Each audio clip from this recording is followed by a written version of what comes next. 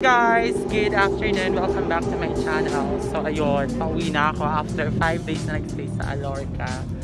Um, you know, ayun, pauwi na ako. Bye!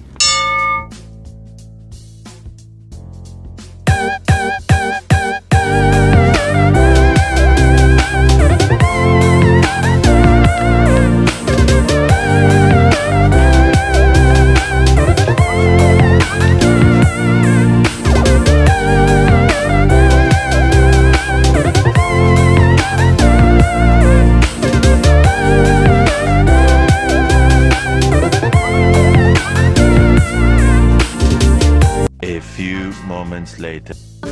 Pa-candy-candy lang muna si Leroy ngayon. Sponsor namin ni Bray ang date. Ra- tapos dito kayo sa kotse, si Bray, ako, si Leroy, ikaw. Pero iwanan na namin Mami, kayo, say hi to my vlog! Hi! Hi to my vlog! Oh, Mag-hi ka Regina. Sabi Oh, Mami Regina! Para kay Daddy Leroy. Oh, yes, kinikilig, grabe! Leroy, akala niya committed ka na. Sinabi ko sa kanya 100%, you are free. Oh, oh my God! Mami, pwede. Kaya may pag-asa ka, Leroy. Sponsoran namin yung ano. Sponsoran namin first, First date date. Panatan mo yun. Hanapan mo siya ng partner. Tinatawanan ko. Oh, hanapan kita si Daddy Leroy. Pwede yun, Mami.